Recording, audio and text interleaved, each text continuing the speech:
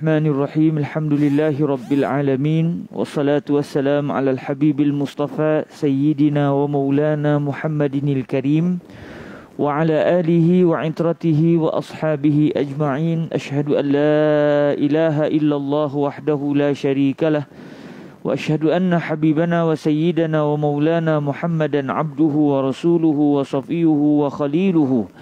أدى الأمانة وبلغ الرسالة ونصح الأمة وكشف الله به الغمة. اللهم صل وسلم وزد وبارك على الحبيب المصطفى سيدنا ومولانا محمد رسول الله وعلى آله وعترته وأصحابه ومن والاه. أشهد أن لا إله إلا الله وحده لا شريك له وأشهد أن حبيبنا وسيدنا ومولانا محمدا عبده ورسوله اللهم صل على سيدنا محمد صلاة تنجينا بها من جميع الأهوال والآفات وتقضي لنا بها جميع الحاجات وتطهرنا بها من جميع السيئات وترفعنا بها أعلى الدرجات وتبلغنا بها أقصى الغايات من جميع الخيرات في الحياة وبعد الممات وعلى آله وصحبه وسلم. أما بعد. Kita bersyukur kepada Allah Subhanahu Wa Taala masih diberikan lagi kita kesempatan pada pagi yang berbahagia ini untuk bertemu lagi di dalam hadis tentang amalan yang mudah namun pahalanya melimpah ruah. Dan kita bersyukur pada Allah Subhanahu Wa Taala pada hari kelahiran Sayyiduna Rasulullah sallallahu alaihi wasallam ini di saat uh, waktu subuh ini selepas selesai kita menunaikan salat subuh kita terus membaca hadis Rasulullah sallallahu alaihi wasallam mengingatkan baginda Nabi alaihi salatu wasallam pada hari kelahiran baginda Nabi sallallahu alaihi wasallam. Semoga Allah Subhanahu wa taala menerima segala apa yang kita lakukan ini dan menjadikan kita merupakan kecintaan dan kebanggaan Sayyidina Rasulullah sallallahu alaihi wasallam Hari ini kita akan membaca hadis yang kedua terakhir iaitu hadis yang ke-39. Alhamdulillah daripada satu hari ke satu hari saya pun tak pasti kita punya majlis ni majlis yang keberapa pada hari ini. Allah taala a'la wa a'lam eh. Saya pun tak tahu kita punya majlis majlis yang keberapa. Namun walhamdulillah kita dapat bertemu pada hari ini dan kita berada pada hadis yang ke-39 yang insya-Allah akan menceritakan kelebihan seseorang muslim bercucuk tanam. Seorang Muslim bila bercucuk tanam dia akan mendapat pahala di sisi Allah Subhanahu Wa Taala disebabkan apa yang akan kita dengar daripada beberapa untayan hadis Rasulullah sallallahu alaihi wasallam yang akan saya datangkan ini ya. Saya datangkan satu, dua, tiga, empat hadis yang saya letakkan di bawah tajuk hadis ke-39 eh. Ada empat riwayat berdasarkan apa yang saya datangkan di sini dan insyaallah kita akan menelitinya ada hadis riwayat Imam Bukhari ada riwayat Imam Muslim dan banyaknya daripada Imam Muslim eh. Baik bismillahirrahmanirrahim. Bi isnadina ila sayyidina al-imam Muhammad ibn Ismail ibn Ibrahim ibn al-Mughirah ibn Bardizbah al-Bukhari al-Ju'fi rahimahullahu subhanahu wa ta'ala wa nafa'ana Allahu bi 'ulumihi وعلوم مشايخه وتلامذته وقراء صحيحه وسائر مصنفاته وشراحها اللهم امين بسنده عن انس رضي الله عنه قال قال رسول الله صلى الله عليه واله وسلم Jangan tak selawat tuan-tuan ya. Ha, ha, saya tahu tuan-tuan selawat tapi saya saya takut tuan-tuan tak berselawat sebab rugi kita dah sampai ke satu peluang untuk berselawat. Eh. Ma min muslimin yaghrisu gharsan aw yazra'u zar'an fayakulu minhu tayrun aw insanun aw bahimatun illa kana lahu bihi sadaqatun rawahu al-bukhari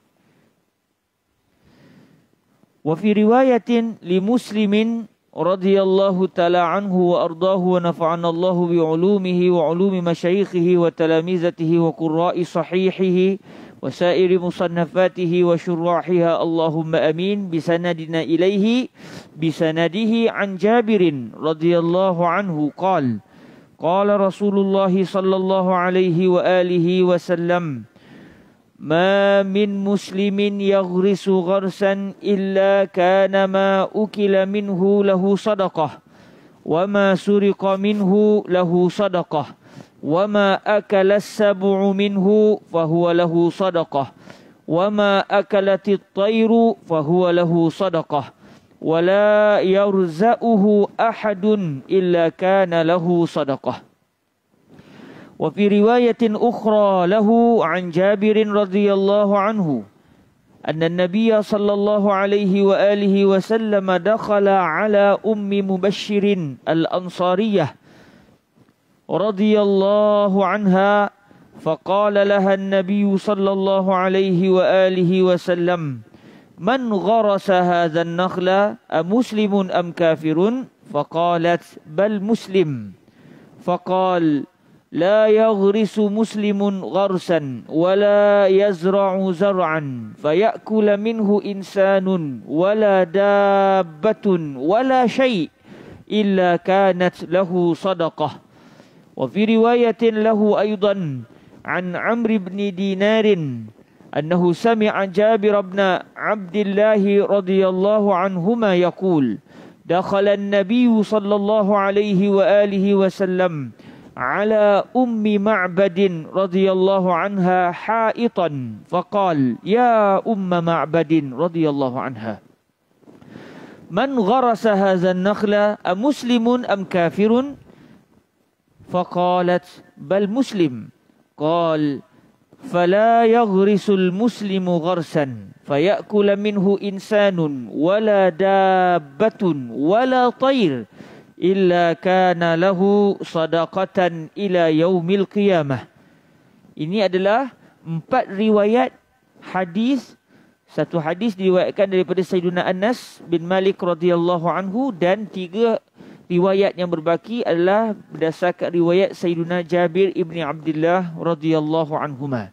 Baik, kita akan lihat terjemahan keempat-empat riwayat ini. Daripada Sayyidina Anas, Allah telah meridai beliau. Amin.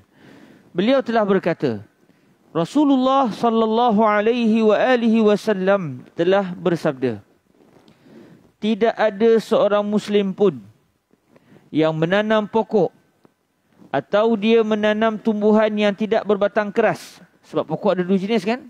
Pokok uh, berbatang keras ni maksudnya pokok besar. Eh? Pokok besar, pokok kurma, pokok manggih, pokok lansat. Tapi kalau pokok yang yang yang satu lagi tu pokok kecil sama ada sayur-sayuran ataupun pokok berbatang keras biarlah dia kecil. Pokok semik, pokok temikai, pokok cili ya. Uh, pokok yang yang kecil eh. Okey. Jadi kata Nabi alaihi salatu wasalam tidak ada seorang muslim pun yang menanam pokok.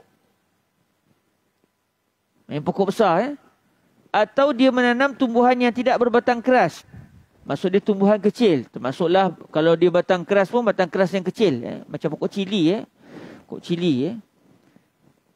Saya pun tak tahu sangat pokok-pokok ni. Pokok yang saya tanam saya tahu lah batang dia keras ke kecil. Eh. Pokok cili. Lepas tu apa lagi pokok, pokok kecil tapi batang keras. Pokok betik. Eh, pokok betik kira pokok besar lah tu. Pokok betik tu kira pokok besar lah tu. Uh, dia macam pokok sayur-sayuran ni lah. Ha? Pokok sayur-sayuran. Eh. Uh, pokok selasih. Pokok selasih pun batang besar. Tapi eh, batang dia keras. Tetapi dia pohon, pohon kecil. Kita kata pokok yang uh, bersifat apa namanya sayur-sayuran. Eh. Lalu burung. Atau manusia. Atau binatang ternakan. Pun makan daripada tanaman tersebut. Ha, maknanya akhirnya dia punya pokok tu dimakan samanya daunnya atau buahnya oleh burung ataupun manusia ataupun binatang ternakan.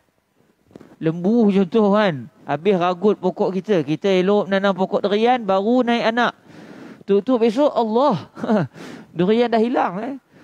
Memang tak dapat lagi buahnya dengan pokok-pokok disebat dek apa namanya di lembu eh.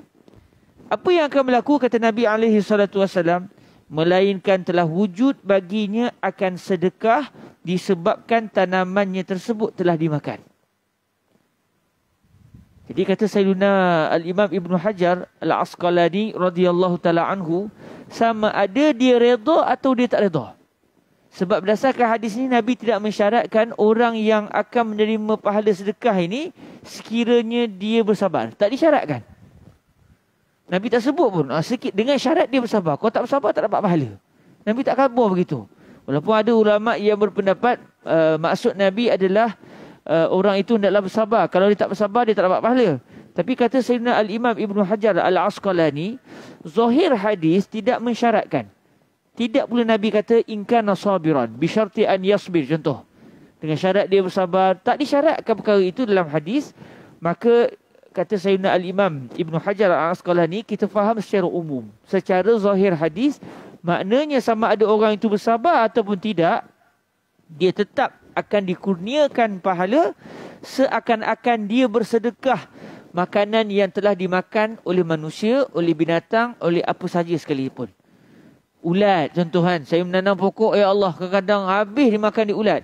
Tanam pokok baru ni saya tanam pokok Allah SWT Nabi pokok cincau.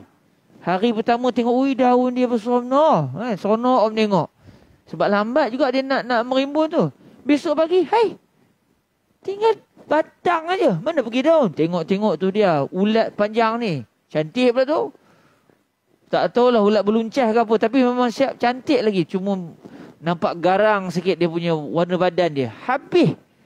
Saya pun ambil belah-belah beluncah tu. Letak ke daun. Daun semak. Biar dia makan daun semak pula lah. Dengan harapan saya kata dengan mak saya. Macam mana pokok cincau ni mak? Boleh minta balik tak? Mak saya ada banyak pokok cincau. Tapi contohnya jangan minta pula. Nanti marah pula mak saya nanti. Mak kata tak apa ada akar tu dia tumbuh balik. Mak betul pun tak nak bagi cincau. Eh. Dia kata tak apa akarnya ada lagi tu insyaAllah. Eh. Habis dia makan. Jadi sebenarnya kata kata Sayyidina Al-Imam Ibnu Hajar sama ada orang itu redha ataupun tidak dia tetap telah mendapat pahala. Cuma kalau dia bersabar, dia redha, ha dia akan dapat yang lebih. Dia dapat pahala sabar pula. Pahala redha dengan ketentuan Allah pula. Tapi kalau dia tak sabar kata, "Alamak ai habis. Wah dah banyak duit habis dan ini nak menunggu dia besar punya lama. Sudah ini habis boleh dimakan binatang. Hantunya binatang. Ha, contoh geram dia. Dia dapat pahala. Cuma dia tak dapat tambahan pahala sabar. Hadis ini telah diriwayatkan oleh Al-Imam Al-Bukhari. Di dalam riwayat Al-Imam Muslim dengan sanad beliau daripada Sayyiduna Jabir radhiyallahu anhu. Sayyidina Jabir ini anak kepada seorang sahabat Nabi yang lain. Ha, Maksudnya beliau dan ayahanda beliau duduk sahabat Nabi. Sayyidina Jabir bin Abdullah bin Haram. Eh. Ayahanda beliau Sayyidina Abdullah merupakan antara orang yang terawal syahid dalam medan Uhud. Kalau saya tak silap orang yang mula-mula syahid dalam medan Uhud. Ayah kepada Sayyidina Jabir. Rasulullah selalu menziarahi Sayyidina Jabir. Sayyidina Jabir ni uh, dianggap kanak-kanak lah uh, ataupun remaja pada zaman Nabi SAW. Rasulullah biasa ya selalu menziarahi Sayyidina Jabir ibni Abdullah dan kata guru kami Fadilatul Syekh Husri ini menunjukkan betapa Nabi sallallahu alaihi wasallam sangat mengambil berat anak-anak yatim yang ayahanda mereka syahid di medan perang ha? Jadi Rasulullah ziarah kanak-kanak ziarah uh, orang-orang muda dan ini menunjukkan tawaduk bagi Nabi alaihi salatu wasallam bahkan Nabi ketika menziarahi para sahabat sama ada naik keldai atau naik jalan kaki sama ada berjalan kaki. Bayangkan Nabi berjalan kaki pergi ziarah sahabat. Atau Nabi naik keldai. Keldai ni apa dia tuan-tuan? Kata guru saya Fadilatul Syekh Husri. Keldai ni binatang yang ditunggang oleh orang miskin. Sampai ke hari ni tuan-tuan kalau kita naik keldai tak terasa sikit pun bangga. Betul kan? Kalau kita naik keldai tak, oh sonoknya, bangganya. Tengok aku ada keldai. Tak ada kan? Keldai ni dengan suaranya. Inna angkaral aswat. Lasatul hamir eh. Suara paling buruk sekali memang suara hamir eh. Suara keledai. Tak adalah kita rasa naik bangga. Dia pula dengan kering begitu eh. Tapi kalau naik kuda lain. Naik kuda ni nak pula kalau kuda tu jenis kuda yang mewah eh. Kuda yang melentik-lentik jalan tu. Oh kita rasa. Oh. Ya, macam tu tuan eh. Naik, naik unta terasa eh. Terasa bangga kita. Terasa kita hebat eh. Tapi Rasulullah naik keldai dan keldai adalah binatang tunggangan orang-orang miskin. Sedangkan kalau Nabi nak naik buruk, Allah akan bagi. Tapi subhanallah, tawaduk sidna Nabi alaihi salatu wassalam, walaupun baginda merupakan ketua para nabi dan para rasul bahkan makhluk yang paling mulia diciptakan oleh Allah Subhanahu Wa Taala tak ada makhluk lebih mulia daripada nabi yang pernah Allah Taala ciptakan. Tetap nabi merendah diri dan tawaduk. Dan di sinilah kita dapat belajar ini akhlak baginda Rasul sallallahu alaihi wasallam. Bukan maksud dia oh lepas ni tak bolehlah kita naik kereta mewah. Kena naik kereta yang kalau boleh jalan 2 3 km berhenti eh kena baiki. Bukan itu maksudnya tidak. Pakailah kenderaan yang yang mewah sekalipun tetapi biar dalam hati kita tidak tidak terdetik rasa bongkak dan rasa bangga serta memandang rendah kepada orang lain. Bahkan kata para ulama kalau pergi ke masjid disunatkan kita berjalan kaki. Ha, kalau rumah kita dekat sekadar 10 minit jalan kaki dan tidak membawa kepada masalah kesihatan bahkan dapat uh, membakar kalori dengan baik Ha, orang yang nak diet dia tahu pasal kalori dia tengok makan ni berapa kalori apa semua tu. Kalau tidak menjadi masalah elok berjalan kaki. Semayang Jumaat berjalan kaki, semayang fardu untuk ke surau dan masjid juga berjalan kaki. Ha, walaupun rumah tapi kalau rumah kita jauh jalan kaki tu sampai habis belencur nak kena mandi pula kat surau, ha, eloklah naik kenderaan eh. Jadi tuan-tuan yang dirahmati Allah Subhanahu Wa Taala, Sayyidina Jabir ini banyak kisah beliau dengan baginda Nabi alaihi salatu wassalam dan beliau pernah uh, oleh kerana ayah anda beliau ni meninggal dunia dalam keadaan mau hutang eh membawa hutang. Ada pernah berhutang dengan orang Yahudi? Banyak. Dan akhirnya Sayyidina Jabir minta tolong daripada Rasulullah supaya Rasulullah sebagai seorang nabi dan bersama ketua negara Madinah dapat bersembang dengan orang-orang Yahudi yang merupakan pemiutang ayah anda beliau supaya dapat dikurangkan bayaran hutang. Sebab beliau tak tak tak mampu nak bayar eh, hutang kurma ni ayahandanya Sayyidina Abdullah ibni Haram berhutang kurma eh, dengan Yahudi. Tetapi nak katanya Yahudi ni dia tak kira. Dia kata tetap bayar. Walaupun telah dipujuk oleh oleh Rasulullah sallallahu alaihi wasallam. Dan dalam masa yang sama Nabi tidak mengata, "Eh, aku ketua negara, kau ni duduk di negara." Tak ada Nabi tetap hak dia. Walaupun baginda Nabi sebagai ketua negara telah berbincang dengan Yahudi supaya dikurangkan, tetap Yahudi mengambil nak nakkan hak dia juga dan Nabi tidak pula menzalimi golongan Yahudi. Subhanallah. Lalu akhirnya Nabi kata, letakkan kurma yang berjaya kamu kumpulkan. Petik-petik pada pokok takap mana yang dapat, letak di tempat jemur. Oh, kurma dijemur dulu. Sebab kurma ni makanan asasi orang Arab. Dimakan sama ada dalam keadaan basah ataupun kering. Jadi yang yang menjadi makanan berterusan bila dikeringkan. Eh. Bila kering tu nak makan tu, aa, ah, kita kena lembutkan dulu letak dalam air biar selam, semalaman ya, baru disedap makan. Kalau tidak, serupa kita kekah batu tuan-tuan eh. Kurma eh. Yang kita makan tu kurma yang masih basah eh. Yang kita makan masa buka puasa tu, itu masih basah eh. Dipanggil rutop eh.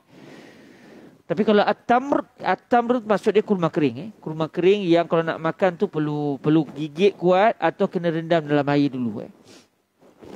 Jadi akhirnya uh, Sayyidina Jabir pun letaklah takat mana dapat kurma yang beliau berjaya petik daripada kebun ayahanda beliau. Letakkan di tempat jemur. Lalu Rasulullah pusing kawasan tu. Pusing, pusing, pusing. Macam tawaf lah. Tapi bukan tawaf. Sebab tawaf ni hanya boleh di Baitullah. Cuma dalam bahasanya panggillah yatufu haulahu. Eh. Dia pusing sekitarnya. Rasulullah pusing, pusing, pusing. Lepas tu Rasulullah kata kepada Sayyidina Jabir, kira. Sukat sekarang. Sukat dan terus bayar. Sukat dan terus bayar. Beliau pun sukat bayar. Sukat bayar. Sukat bayar. Habis hutang ayah anda beliau dibayar oleh Sayyidina Jabir kepada Yahudi ketika itu. Sedangkan secara mata kasar, kurma tak cukup. Yang yang berhutangnya bertantan. Kurma, eh, tiba-tiba selesai bayar, ada lagi. Ada lagi. Eh? Dalam masa itu, Nabi dah balik ke rumah dah. Beliau, lepas Nabi pusing, Nabi balik ke rumah. Dan Sayyidina Jabir sukat, sukat, sukat, sukat. Bayar, sukat, bayar, sukat, bayar. Cukup. Eh, dan berlebih lagi.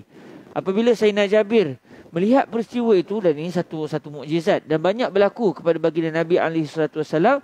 Makanan yang sedikit menjadi banyak. Eh, itu banyak berlaku kepada kepada Rasul sallallahu alaihi wasallam lalu akhirnya Sayyidina Jabir memaklumkan kepada baginda Nabi apa yang telah dialami oleh beliau setelah Rasulullah pusing uh, kawasan tempat kering kurma tu, kurma jadi banyak. Sedangkan ikut mata kasar tak nampak pula kurma tu bertimbun. Tetapi bila sukat seakan-akan tidak habis-habis. Kata Rasulullah, bagi tahu kepada Umar. Sayyidina Jabir pun terus begitu kepada Sayyidina Umar sebab Sayyidina Umar juga ada ketika Rasulullah memusing kawasan uh, tempat apa namanya tempat uh, kering kurma tu. Apabila Rasulullah meminta Sayyidina Jabir maklumkan kepada Sayyidina Umar, bila sampai kepada Sayyidina Umar, Sayyidina Umar kata, aku sudah dapat mengagak akan berlaku peristiwa ini. Kerana apabila Rasulullah pusing, main Nabi memberkati kurmamu. Selesai masalah kamu. Main Sayyidina Umar walaupun tidak melihat peristiwa itu, Cuma masa beliau masa Nabi pusing tu beliau ada, lepas tu beliau pun pulang bersama-sama dengan Nabi. Beliau sudah dapat mengagak, meneka. Ah, sekejap lagi selesailah. Apa namanya? Uh, Allahumma salli ala sayyidina Rasulullah hutang Sayyiduna uh, Abdullah ibni Haram ayahanda kepada Sayyidina Jabir ibni Abdullah. Jadi Sayyidina Jabir ni banyaklah kisah beliau berkenaan dengan baginda Rasul sallallahu alaihi wasallam dan uh, beliau ketika mana ayahandanya syahid lebih kurang 6 bulan lepas tu beliau korek balik apa namanya kubur eh kubur ayahanda beliau sebab beliau rasa tak seronok uh, sebab masa di dalam perang Uhud disebabkan masih tengah perang dan suasana agak getir ketika itu jadi uh, dikebumikan uh, bukan satu orang satu lahat tapi satu lahat berkongsi sampai dua orang eh. jadi beliau nak jadikan kubur ayah beliau seorang-seorang jadi enam bulan selepas tu beliau gali semula untuk ambil jenazah ayahanda beliau yang beliau sangka dah jadi tinggal rangka lah. Tapi bila dibuka beliau melihat jasad ayahanda beliau seperti baru meninggal dunia. Cuma yang berubah telinga sebab masa masa telinga tu dah di di ditepekkan ke jadi telinga tu macam macam dah macam apa? Macam penyek sikit sebab di jenazah tu kan dia kita baringkan di telinga dia di di tanah eh telinga saja. Yang lain semua semua semua seperti sedia kala, seperti masih baru meninggal dunia. Ya. Baik, kita balik kepada hadis daripada Sayyidina Jabir radhiyallahu anhu beliau telah berkata, Rasulullah sallallahu alaihi wa alihi wasallam telah bersabda, tidak ada seorang muslim pun yang menanam pokok melainkan apa yang telah dimakan daripada tanamannya adalah merupakan sedekah buatnya. Macam hadis yang diriwayatkan oleh Sayyidina Anas tadi. Apa yang telah dicuri? Oh, rupanya kalau orang curi eh, barang kita pun, curi tanaman kita pun ada juga kelebihan. Cuba janganlah tuan-tuan buat iklan uh, tanaman untuk dicuri. Silakan. Eh, bukan begitu eh. Apa yang telah dicuri daripada tanamannya adalah sedekah buatnya. Apa yang telah dimakan oleh binatang buas daripada tanamannya. Dulu saya terfikir hadis ni. Binatang buas mana makan pokok? Dia makan daging. Mikir-mikir macam mana Nabi sebut begini ya? Udahnya saya tengok kucing anak saya dia makan daun. Kalau dia sakit perut dia makan ada daun dekat depan rumah. Ah, baru saya faham. Maknanya kadang-kadang binatang buas yang makan daging, dia juga kadang-kadang makan tumbuhan mungkin atas dasar untuk berubat. Eh. Cuma saya kiaskanlah kucing kepada harimau. Eh. Harimau kepada kucing. Sebab saya tak pernah tengok harimau makan makan daun. Tapi kalau kucing makan, maknanya tak mustahil. Binatang buas yang lain juga makan. Eh? Macam mana? Ha, ah, betul, betul, betul. Harimau makan durian. Jadi kalau orang hilang durian tu memang harimau makanlah. Ha. Tapi saya biasa dengar. Betul, harimau dia dia kopek elok. Eh? Dia kopek elok, dia makan, dia letak balik. Katanya lah. Oh. Ya. Yeah. Allah Ta'ala ala alam. Jadi kalau hilang derian kita elok-elok, eh ni bukan orang curi ni, ni ni, ni rimau curi ni. Mana dia lah tu. Apa yang telah dimakan oleh binatang buas daripada tanamannya, maka ia adalah sedekah buatnya. Buat orang yang menanam tadi. Dan apa yang telah dimakan oleh burung, maka ia adalah sedekah buatnya. Ha, burung selalulah. Eh, depan rumah saya ada pokok jambu. Ya Allah punyalah banyak jambu. Tapi jambu tu ialah saya pun tak kerti nak menjaga. Sewa-sewa tu dah ada jambu banyak dah. Kalau tuan-tuan nak pergilah ambil lah jambu depan rumah saya tu. Tuan rumah kamu ambil lah. Tapi apa apa kan daya belah-belahnya penuh ulat lah. Ha, tapi kalau boleh buat jus sekali, mungkin mungkin ada cara dia, mungkin mungkin orang yang pandai mungkin dia boleh buat lah. Tapi udahnya saya tak makan jatuh bergugur. Tapi burung dia datang, dia makan. Lepas tu tebuan datang, dia makan. Eh. Ulat memang dia makan semua sebab dia hidup dalam pokok tu terus. Jadi apa saja yang telah dimakan oleh burung, maka ia adalah sedekah buatnya. Eh. Tidak ada seorang pun yang menerima kebaikan daripada orang yang menanam. Ha, kita ada tanaman, kita hadiahkan ke jiran. Atau kita jual. Jual pun maknanya dia dapat kebaikan juga daripada tanaman itu. Melainkan telah wujud sedekah, telah wujud baginya akan sedekah. Iaitu bagi yang menanam. Eh. Babi, sama lah tu, termasuk binatang. Ha.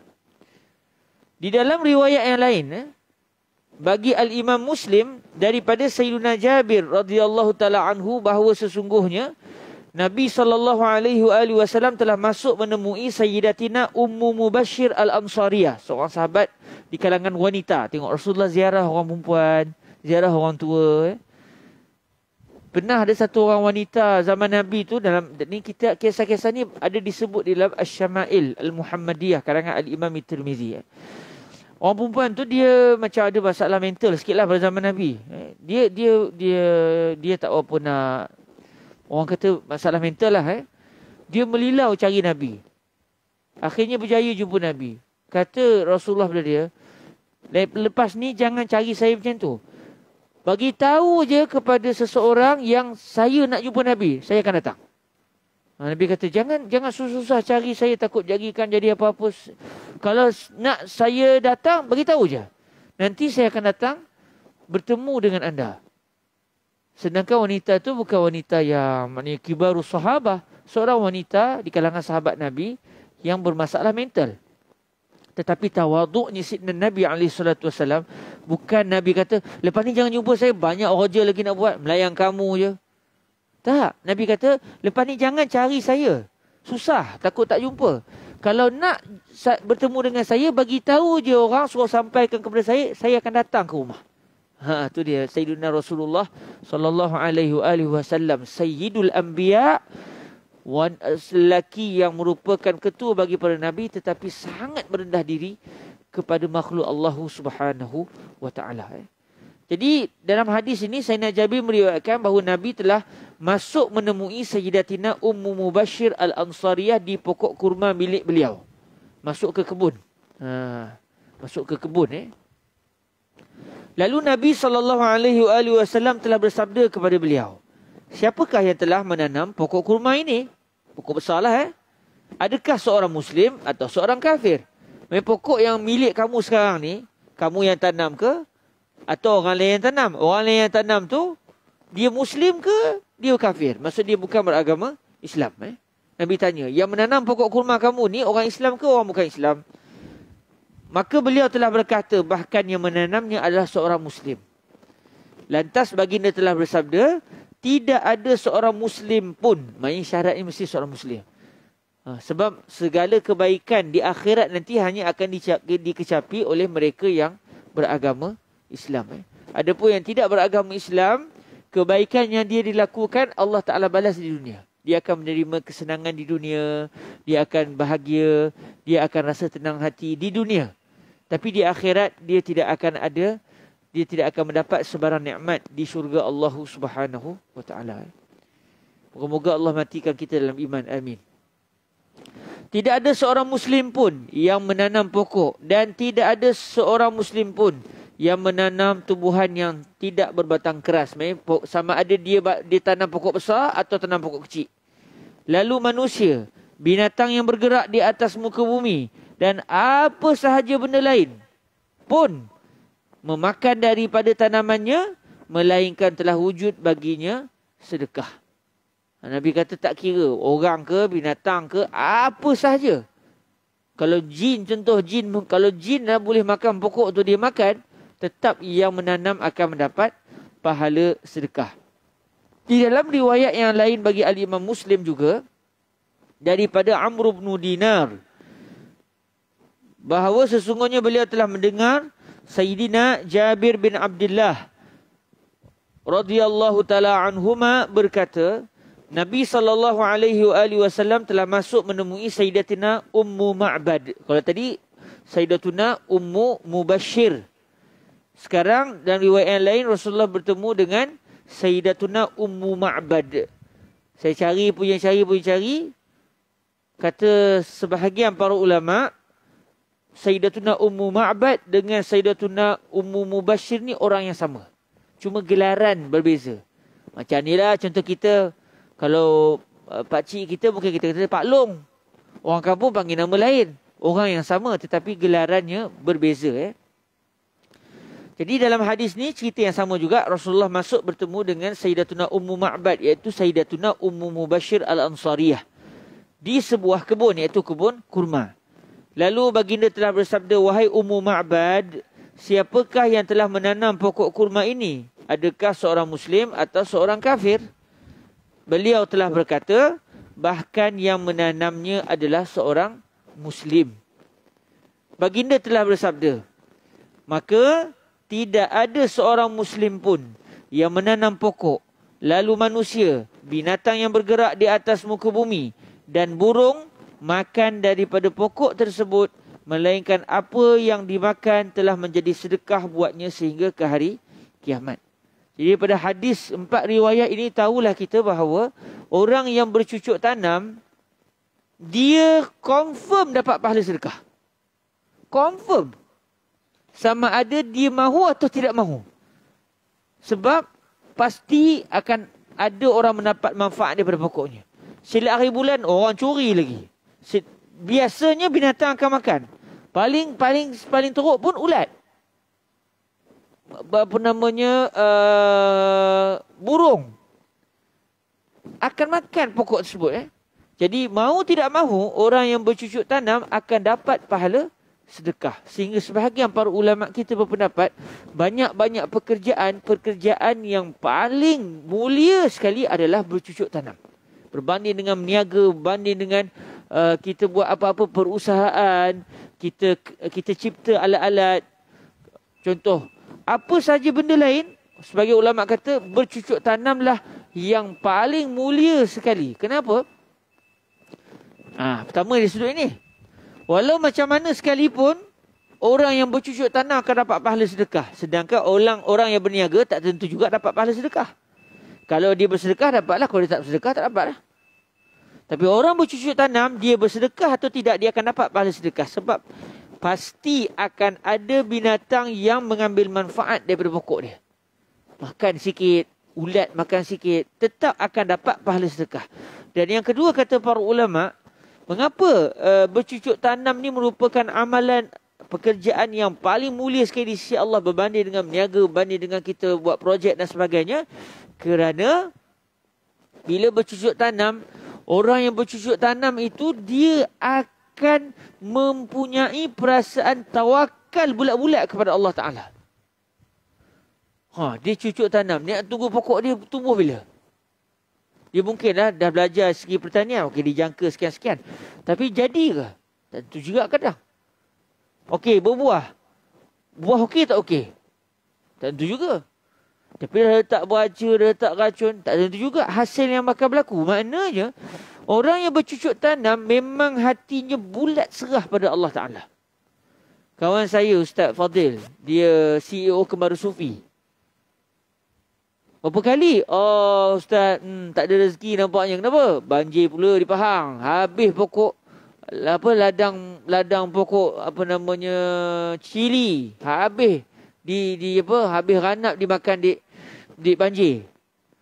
Tanam pokok pisang pula. Oh, Ustaz, banjir pula baru ni. Habis pokok pasir, apa, pokok pisang. Baru nak besar sikit, habis. Maknanya, orang yang bersyukur tanam, dia akan belajar erti tawakal dengan sebenar-benar tawakal kepada Allah Subhanahu Wa Taala. Sebab itu dari sudut ini orang yang bercucuk tanam dia tidak akan uh, ataupun dia menjadi orang yang paling terbaik sekali dari sudut menghasilkan duit. Dia nak dapat duit, dia nak bekerja, cara yang paling mulia sekali adalah dengan bercucuk tanam. Yang pertama dia akan dapat pahala sedekah dan yang kedua dia mendapat pahala Uh, bertawakal dia dapat belajar erti tawakal yang sebenar kepada Allah Subhanahu wa taala. Dan kata para ulama lagi yang ketiga bercucuk tanam ni tak ada istilah cucuk tanam yang haram. Haramnya bila kalau dia gunakan tumbuhan yang dah tumbuh selepas tu untuk tujuan yang jahat. Ah ha, itu baru, baru dia akan dapat. Tapi menanam tu sendiri tak ada istilah uh, pokok ni haram ditanam. Tak ada. Cuma kalau kerajaan kata tak boleh tanam, itu sebab lain. Ha, jangan tanam apa, apa namanya pokok ketum kan. Tak boleh. Ha, pokok ganja. Itu uh, kerajaan yang mengharamkan. Bila kerajaan dah haramkan, dia akan jadi haram jugalah. Sebab kita diwajibkan untuk taat kepada pemerintah. Eh. Tetapi itu itu orang panggil haram aridi, haram yang datang selepas itu. Tapi pada asalnya, kalaulah kerajaan tidak meletakkan sebarang sebarang ketentuan, sebarang peraturan, tanam pokok ketum haram tak? Tak. Okey, dia dah pokok ketum dah tumbuh. Dia ambil daun ketum tu untuk tujuan yang jahat. Ah, ketika itu bukan lagi isunya sebab tanam. Tapi isunya sebab melakukan perbuatan yang haram selepas tu. Dia tanam anggur. Tanam anggur haram? Tak haram. Tapi selepas anggur tu ada, dia peram buat arak. Ha, itu sudah jadi tindakan yang kedua. Tetapi asal kepada menanam tidak ada istilah pokok ini haram ditanam. Tak ada dalam syariat pokok ini haram ditanam. Melainkan kalau kerajaan tidak membenarkan atas dasar sebab-sebab yang lain, ketika itu dia akan jadi haram tanah orang lain. Itu juga dianggap sebagai pengharaman yang bersifat yang lain. Bukan isunya pada pokok itu sendiri. Pokok yang ditanam itu tidak haram. Tetapi tanah orang lain, ah yang itu haram. Maksudnya sebab itu tidak boleh menanam di tanah orang lain. Melainkan kalau orang tu izinkan. Sama ada kena bayar cukai kepada dia atau bayar sewa dia atau macam mana. Tapi kalau kita contoh tanah tu bukan tanah kita. Kita tanam, perbuatan menanam itu apa namanya, uh, kita boleh kata begini pokok itu pada asalnya tidak haram ditanam tetapi disebabkan tanah itu bukan tanah kita maka dia adalah tanaman yang bukan milik kita sebenarnya.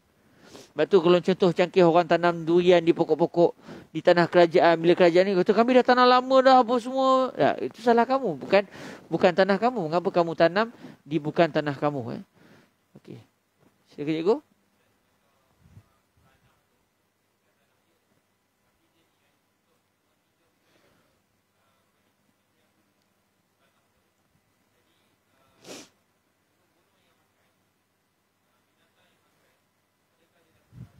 Oh, soalan cikgu eh. Dahsyat eh. Dia buat satu perbuatan yang tak betul. Tanah tu bukan tanah milik dia. Lepas tu dia pun tanam. Lepas tu burung-burung makan.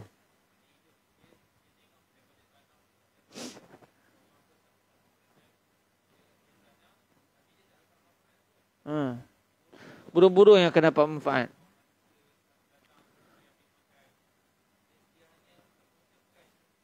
Adakah dia dapat pahala atau tidak? Wallahu taala alam alam. Saya tak tahu. Sebab pada asalnya apabila tanah tu bukan tanah milik kita, tidak boleh kita istilahnya ta'addi. Tidak boleh kita melampaui hak pemilik tanah tu. Kalau tanah kerajaan, kena tanya kerajaan. Kerajaan izinkan atau tidak? Itu kita kena rujuk balik pada kerajaan. Macam tu macam kalau macam di Selangor. Saya, di Perak saya tak tahu. Macam di Selangor uh, bila perbandaran, perbandaran ada tanah depan rumah tu dia tak dia tak marah. Kita nak ni, tapi kalau dia nak buang, dibuang ikut dia sebab bukan tanah kita. Kadang orang tanam pokok besar-besar, perbandaran tengok tak buat hati, tebang. Tak kata pula, tapi kalau orang tanam pokok kecil-kecil dia tak kacau pula. Ha, jadi tuan-tuan yang dirahmati Allah, asalnya tanah bukan milik kita jangan di diusahakan sebab itu milik orang tu. Orang tu nak bagi semak itu sepulang dia. Tapi kalau bawa aku ada bahaya kepada kita. Bila semak contoh boleh buat aku binatang dulu. Ha, yang tu dia jadi sebab yang lain. Yang tu kita bolehlah berbincang dengan ta- pemilik tanah atau dengan pihak pihak kerajaan untuk untuk buat sesuatu supaya demi tidak menyebabkan kemudaratan kepada diri kita. Tapi kalaulah contoh tanah tu tak nak kosong. Tak ada tanam apa-apa. Kita kata rugilah daripada kosong.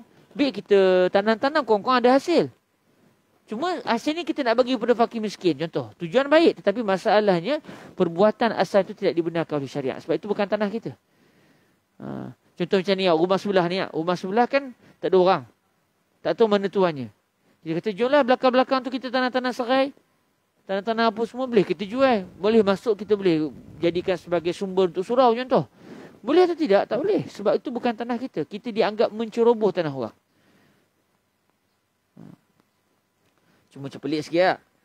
Biasa kandang lah. Orang bila guna kita tanam. Macam kan? Tapi sebenarnya isu dia, dia bukan tanah kita. Itu bukan tanah kita. Eh? Jadi tuan-tuan yang dirahmati Allah Subhanahu Taala, sebahagian para ulama berpendapat buatlah apa macam sekalipun pada asal eh kalau tanah tu tanah kita, eh, uh, benih tu benih kita, Bila kita menanam saja, maka itu dianggap sebagai perbuatan yang paling-paling baik berbanding dengan pekerjaan-pekerjaan yang lain. Kerana tiga sebab tadi. Dia akan dapat pahala sedekah. Yang kedua, dia akan belajar erti tawakal yang sebenar. Dan yang ketiga, dia tanam apa benda pun sebenarnya tidak haram. Sebab benih-benih dia, tanah-tanah, tanah dia. Eh.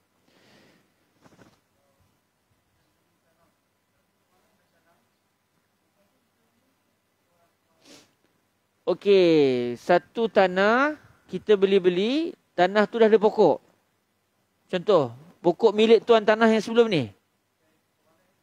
Bukan milik orang tanam secara haram lah maksudnya. Orang tanam secara haram. Eh. Kemudian kita beli tanah, kemudian di tanah tu dah ada. Ya, saya tak tahu jawapan dia. Ha, saya tak tahu jawapan dia. Allah Ta'ala alam alam. Macam mana? Saya tak tahu. Ha, saya tak tahu. Sebab kira-kiranya baru jadi tanah kita. Kalau tanah tu milik tuan tan pokok itu ditanah oleh oleh tuan tanah sebelum ini. Kalau pokok itu ditanah oleh tuan tanah sebelum ini, dia jual tanah tapi tak jual pokok, maka ketika itu pokok tu pokok dia. Pokok dia. Dia nak ambil hasil tu hasil dia. Melainkan kalau kita beli tanah sekali dengan pokok-pokok tu. Tapi isunya pokok itu pun ditanam secara tak betul tanah tuan rumah uh, tuan tanah sebelum ni ditanam oleh orang lain. Kemudian kita beli lepas tu tuan tanah kata saya pun tak tahu siapa yang tanam adalah pokok-pokok ni tak tahu siapa yang tanam. Jadi macam mana status apa namanya pokok itu? Milik kita atau tidak? Allah Ta'ala a'la alam. Saya tak tahu. Tapi yang pastinya, kita kalau kita ambil buah-buah tu, kita sedekah untuk fakir miskin, memang boleh ya. Sebab bukan milik orang yang menanam sepatutnya. Cuma sekarang sudah berlaku. Milik siapa? Allah Ta'ala Allah Saya tak tahu jawapan dia. Yang tu kita kena rujuk balik dalam kitab-kitab. Kena rujuk balik sudut fatwa lah. Macam mana dalam isu ni. Eh? Isu pertanahan ni. Ustaz Fahmi ada jawapan? Saya memang tak tahu jawapan. Allah Ta'ala Allah Okay. Baik. Pengajaran bagi hadis. Yang pertama. Seseorang Muslim yang bercucuk tanam sebenarnya sedang melakukan satu ibadah yang besar sekali pahalanya di sisi Allah. Ini kerana segala hasil tanamannya dimakan oleh makhluk Allah sama ada manusia atau binatang akan menyebabkan orang yang menanamnya mendapat pahala bersedekah. Secara pribadi tuan-tuan disebabkan hadis ni lah saya mula bercucuk tanam masa di Mesir dulu. Oh kita kata langsung tak tanam pokok ni rugi kita baca hadis. Kita pun tanamlah pokok-pokok. Lepas tu kalau nampak ada semut makan biar biar biar. Pahala sedekah. Ha, saya tak racun pokok saya. Biar. Sebab dia pun nak makan pokok tu. Jadi tak beranilah nak beracun. Kurang-kurangnya kita makan sayur yang selamat. Ada buah. Biar, biar, biar. Sekali tu semut tu dia, dia macam banyak, makin banyak. Sekali tak apalah. Sedekah. Udahnya ranak pokok saya. Lebur terus tuan-tuan. Eh. Habis ni makannya. Dia jadi macam... Sampai ke akar-akar jadi putih-putih begitu.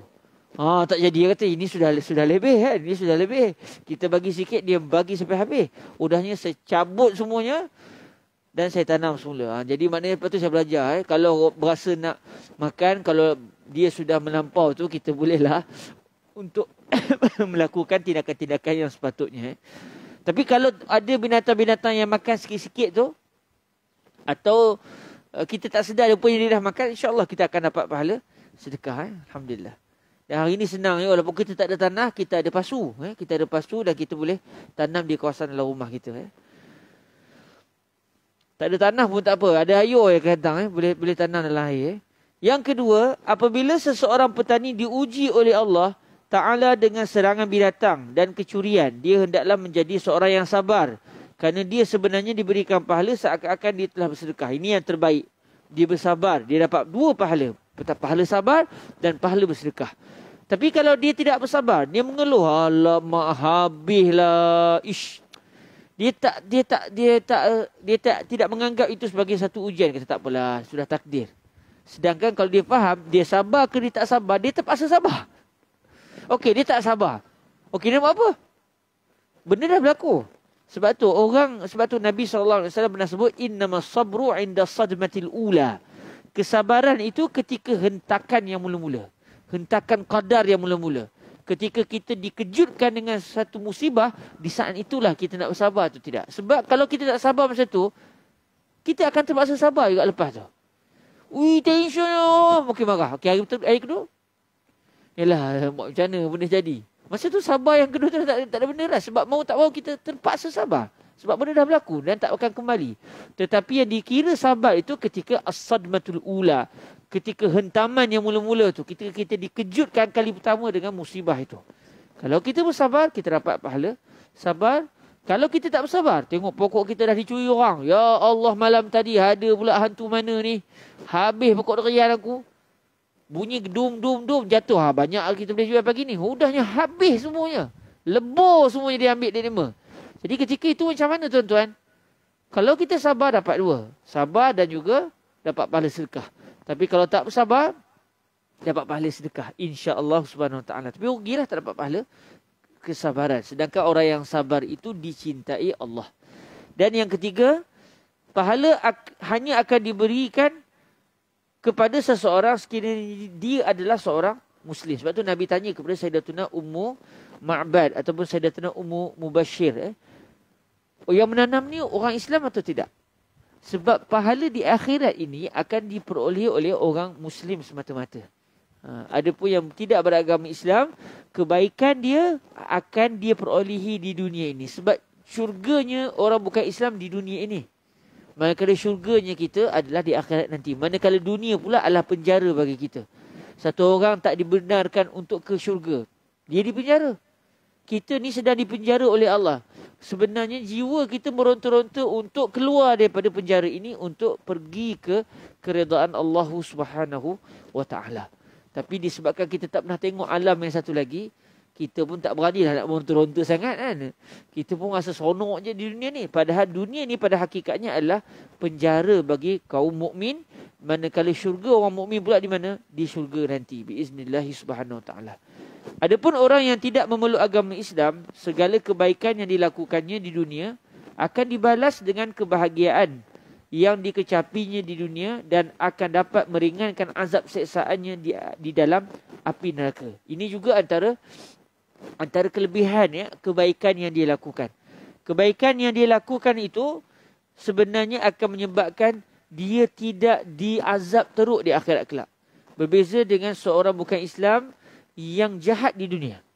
Azabnya bertimpa-timpa kerana dia pertama disebabkan kekufuran dia dia akan kekal api neraka Allah. Lepas tu buat jahat pula, ah tambah lagi, tambah lagi, tambah lagi.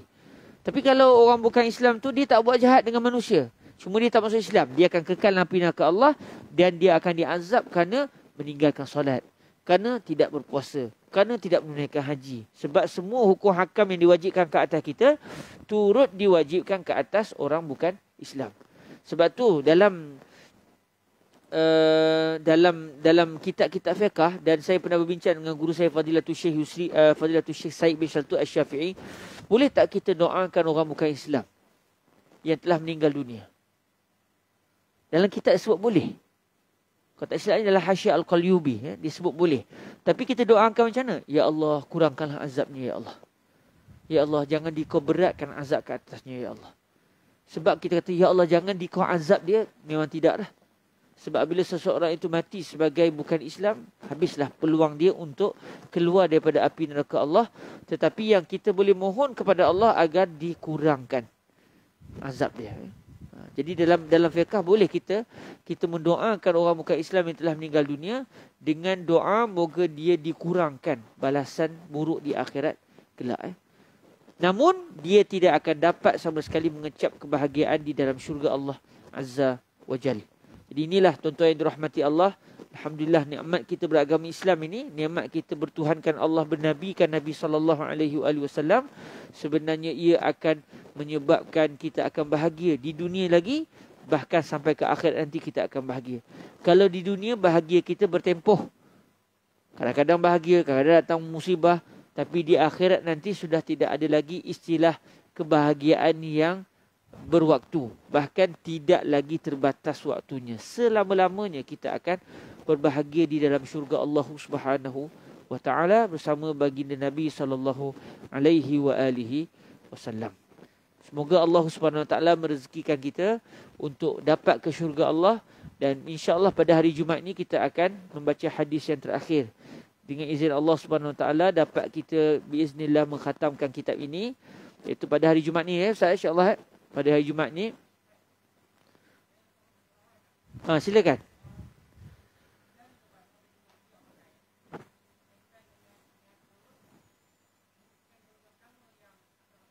Macam mana? Peniaga.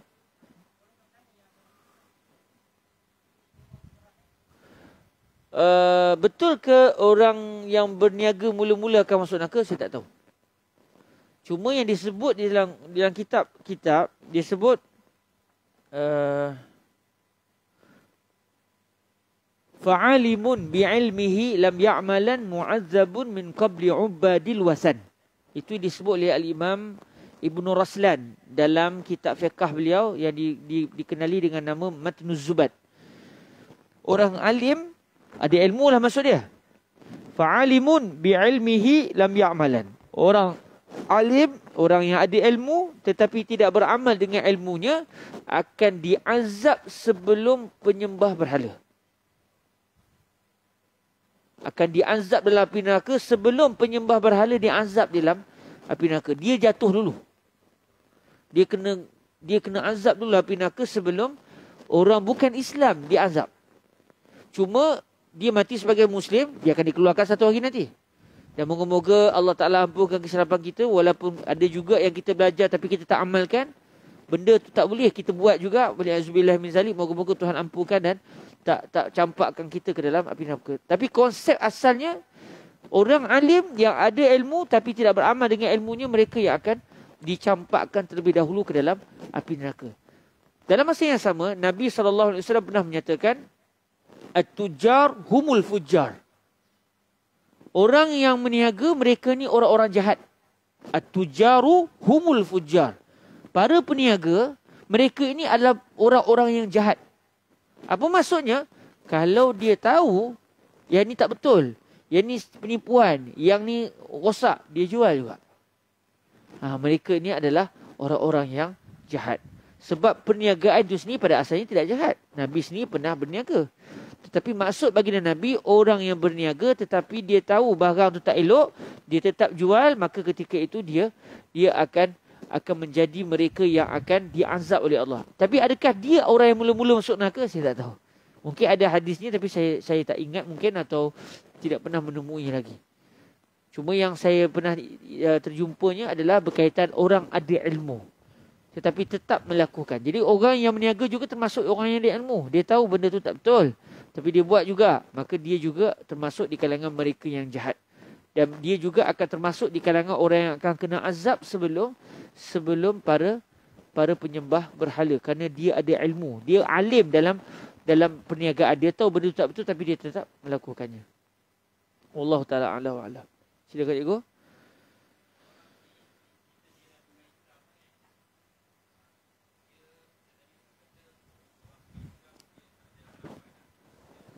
Kalau dia mati sebagai seorang muka Islam.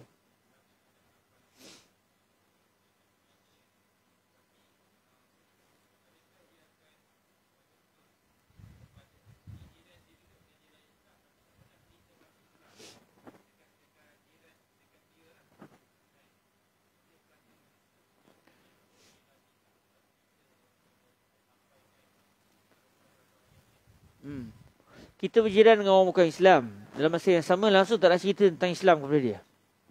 Adakah nanti dia akan tuntut di akhirat? Dia ni tak pernah cerita tentang Islam kepada aku.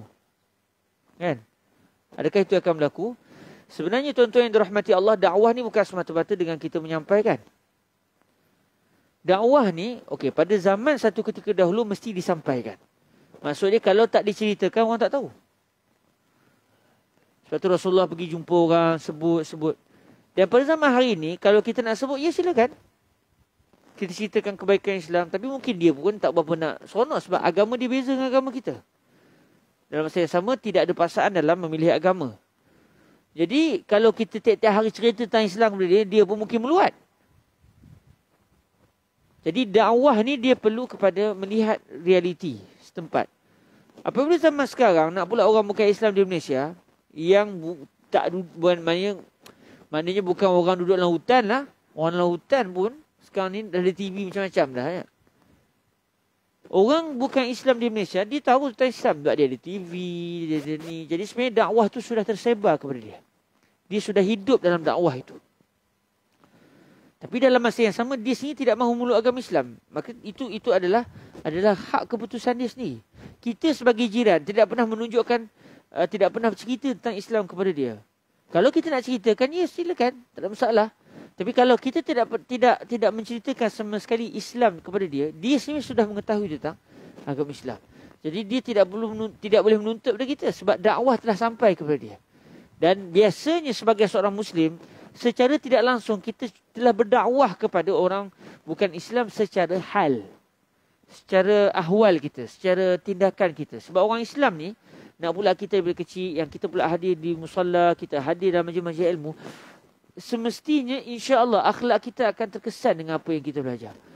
Lalu mereka melihat, oh ini orang Islam. Oh ini akhlak orang Islam. Oh buat baik dengan jiran. Walaupun saya tak sama agama dengan dia, tapi dia tetap buat baik dengan saya. Oh tengok anak-anak dia macam mana bagus. Dia akan bandingkan. Nah ini yang kalau kita dengar cerita orang bukan Islam.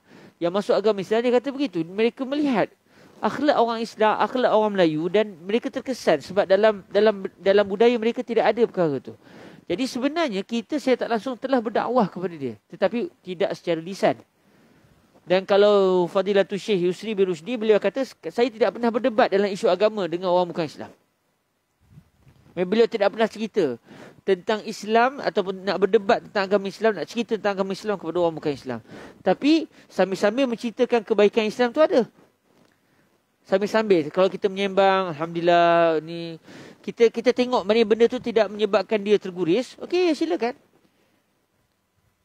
Tapi kalau kita sampai nak tiap hari ah, nak, nak kena dakwah ni, takut cara kita itu menyebabkan dia akan dia akan jadi meluat sebab isu agama ni satu isu yang yang bukan senang. Bayangkan Islam masuk ke bumi Mesir pada zaman sahabat.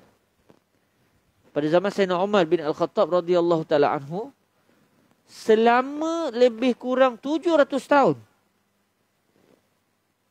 Sebelum 700 tahun berlalu, majoriti orang Mesir tidak beragama Islam. Walaupun pemerintahnya atau Mesir itu sendiri sudah berada dalam dalam kekuasaan kerajaan Islam. 700 tahun. Maksudnya ketika zaman sahabat uh, masuk Mesir tu, walaupun Mesir sudah di bawah jajahan takluk orang Islam, di bawah kekuasaan Sayyidina Umar bin Al-Khattab selaku khalifah ketika itu, majoriti orang Mesir tak masuk Islam. Berapa lama? 700 tahun. Selepas berlalu 700 tahun, barulah majoriti orang Mesir beragama Islam. Maksudnya, nak menukar agama bukan satu benda yang senang. Dia tengok dia tak tak terkesan lagi. Walaupun dia tengok oh, bagus ni pemerintahan bagus banding dengan Byzantine dulu. Tapi nak mengubah akidah ni bukan satu benda yang yang senang. Setelah berlalu 700 tahun barulah akhirnya mereka mereka menerima agama Islam. Orang Kristian di Mesir tuan-tuan kalau kita dengar kita rasa dia ni tok syekh apa? Assalamualaikum. Ha. Dia bagi salam kat kita. Allah ya khalik. Rabbuna yasturna jami'an. Ha. Allah ni dalam mulut dia je. Tapi kita pun macam mana ni salib kat tangan dia orang dia orang tatu salib di tangan. Kadang-kadang gambar Nabi Isa yang dikatakan itu gambar Nabi Isa terpampang dalam teksi lah pun. Cara cakapnya padirinya saya hampir-hampir pernah nak bersalam dengan satu pemberi nak cium tangan. Ingatkan Syekh. Mula-mula sampai bersih tengok belakang jubahnya lepas tu nampak macam kopiah ni semacam ni Syekh besar ni nampak belakang janggutnya. Pergi depan tu dia Palang saya naik macam tu ha. Jadi tuan-tuan yang dirahmati Allah Macam orang orang di Mesir ambil contoh ha. Kristian di Mesir Dia bukan tak tahu tentang Islam. Hari ni Bahkan mereka berbahasa Arab Boleh baca Quran Faham. Tapi hidayah tetap milik Allah subhanahu wa ta'ala. Maknanya Orang yang tidak mahu meluk agama Islam Memang mereka tidak mahu meluk agama Islam. Tapi kalau sudah sampai hidayah Seorang padri Kristian di Mesir Pernah meluk agama Islam. Sehingga ayah dan ibu dia bunuh diri kerana tertekan anak dia masuk Islam. Sebab anak dia ni harapan mak ayah dalam masa yang sama dia sudah menjadi padri besar di di Asyut kalau saya tak silap eh. Dia masuk Islam kerana dia dia dia menjumpai dalam dalam Bible dia kebenaran uh, bagi Rasulullah sallallahu alaihi wasallam sampai tesis master dia dalam uh, dalam apa gereja rupanya dia orang pun ada master PhD dalam gereja eh, di Mesir lah saya tak tahu di Malaysia ada tak maknanya master PhD BA di di gereja. Saya tak tahu. Tapi dia orang ada study khusus yang ada master di PhD di gereja. Pengajian tentang kristianisasi lah. Dia punya tesis master dia dalam dalam gereja tu, dalam pengajian di gereja ayat-ayat yang membuktikan kebenaran Nabi Muhammad sallallahu alaihi wasallam daripada Bible. Akhirnya gereja gereja tolak tesis dia. Yalah, menanya Kristian. Seorang padri Kristian yang belum masuk agama Islam tapi atas dasar ilmiah membuktikan kebenaran Nabi Muhammad SAW daripada ayat Bible pada hari ini. Tesis ini tolak. Kemudian dia diseksa teruk. Eh. Dia diseksa teruk.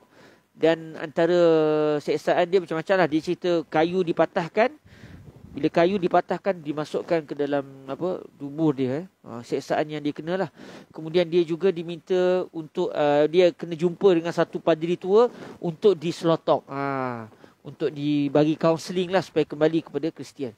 Tapi dia suka dengan padri tu. Padri tu tak ada buat marah-marah dia. Tak ada apa namanya bagi tekanan kepada dia. Bahkan padri tu kata kepada dia. Yabni subir. Wahai anakku bersabarlah. Ha? Bersabar. Dia minta uh, dia macam mana ayat seribu dinar tu? Wa man yattaqillah. Dia pada itu sebut pada itu tu sebut pada dia. Wa man yattaqillah yaj'al lahu makhraja wa yarzuqhu min haitsu la yahtasib.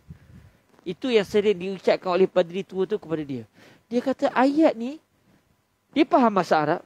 Dia kata ini bukan ayat Bible ni. Tapi dia rasa sangat tenang dengan ayat ni. Dan dia tak tahu tu ayat lah. Ayat Al-Quranul Karim. Sehinggalah satu hari pada waktu subuh, dia nak pergi ke bilik padri tu, dia dapati padri tu dalam bilik seorang-seorang, bilik tu berkunci pula. Dia masuk-masuk tengok padri tu sedang mendirikan solat subuh.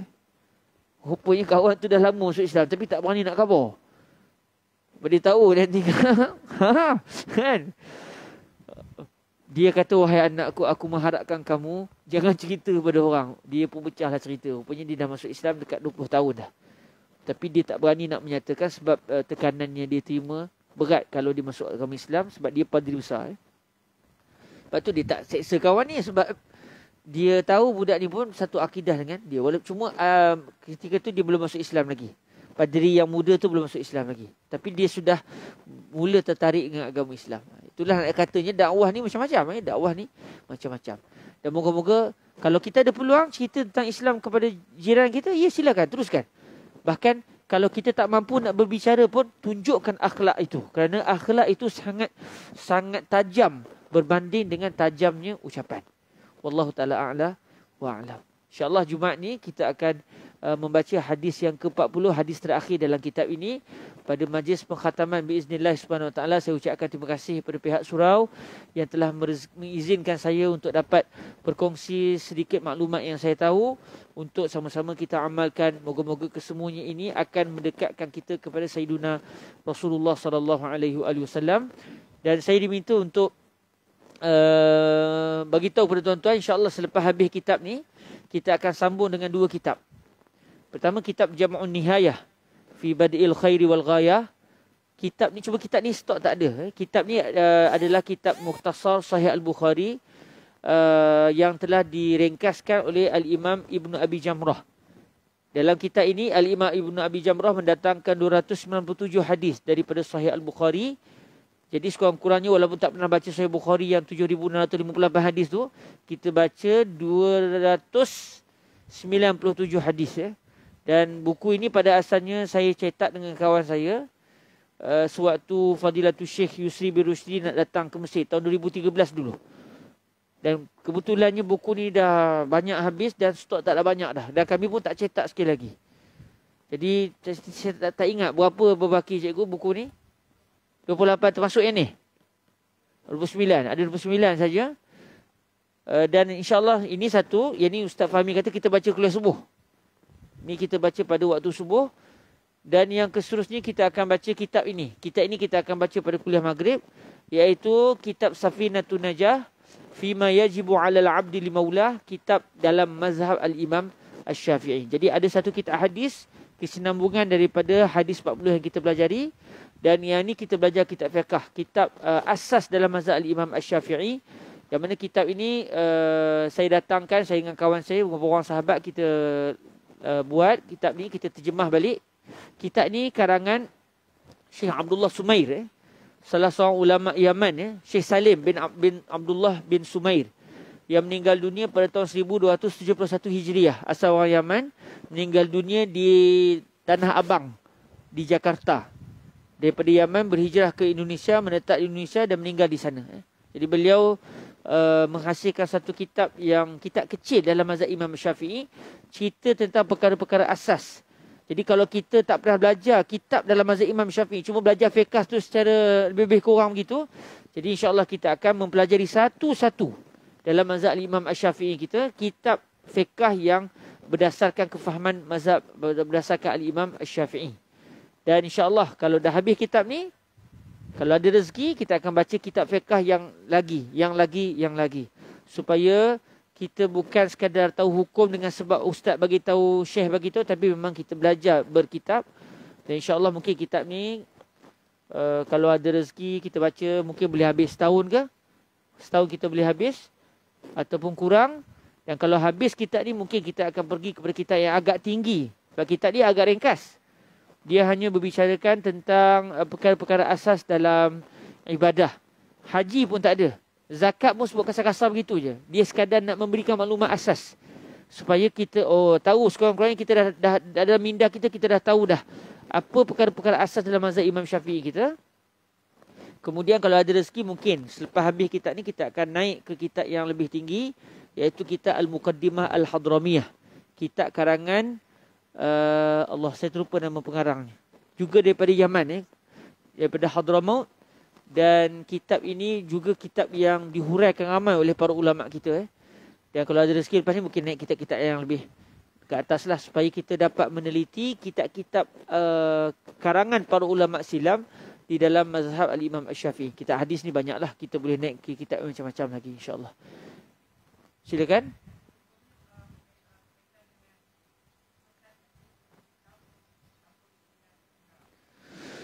Kalau okey, putus stik buku tanpa keizinan pengarang. Oh.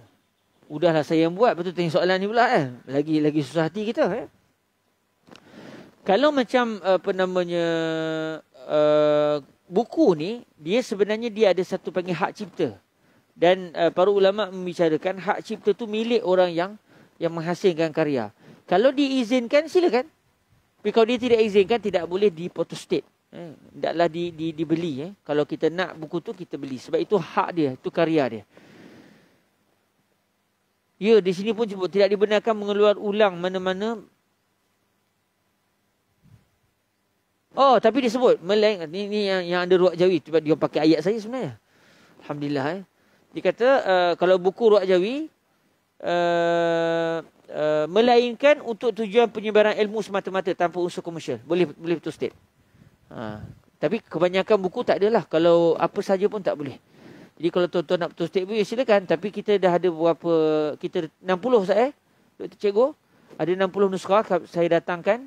Kalau siapa yang nak nak membelinya, boleh dapatkan daripada Cikgu Azizul. Eh. Satu buku 35. Satu buku ni harga 35. Dan kalau yang ni harganya 20 tapi tak banyak stok. Dia lebih kurang dalam 29 termasuk termasuk ini ya, 29. Itu saja. Insya-Allah uh, kalau tuan-tuan rasa ish tak mampulah tak apa. Saya cuma buku ni, buku yang hadis ni tidak saya tak sempat nak terjemah. Jadi insya-Allah sebelum kita start majlis nanti setiap kali sebelum contoh kelas saya katakan hari Jumaat malam malam Sabtu. Sebelum saya hadis, saya akan tembak dalam grup surau terjemahan bagi hadis yang akan kita pelajari serta pengajaran. Jadi sambil-sambil khatam kita ni, cetak terus kitab. Ha, InsyaAllah terjemahan bagi kitab uh, Jama'un Nihayah fi Badi'il Khairi wal Ghayah. Itu saja daripada saya. Minta maaf terlebih juga masa pada hari ini. Moga Allah Subhanahu Wa Taala memberkati kita pada hari kelahiran baginda Nabi. Gembirakanlah keluarga kita pada hari ini dengan uh, menunjukkan betapa baginda Nabi ini satu kemuliaan bagi mereka. Moga-moga anak-anak kita terlahir dan dididik dengan perasaan mencintai Sayyiduna Rasulullah sallallahu alaihi wasallam. Saya daripada 2 3 2 3 hari lepas saya kata hari ini kita sambut birthday Nabi. Baba boleh beli kek? Boleh? Tapi kena selawat. Sebab ini bersdi Nabi sebelum kita makan kita kena selawat seratus kali. Kata okey okey kita nak kek. Oh, jadi budak-budak dia mungkin tak faham lagi tapi dia sudah di difahami eh. Dia sudah mula dijentik dalam jiwa dia kecintaan kepada baginda Nabi wasallam. Moga-moga semua anak-anak kita begitu biiznillah dididik dan dibesarkan di dalam kasih sayang kepada baginda Rasul wasallam. Orang Mesir dia ada satu, dia ada satu budaya.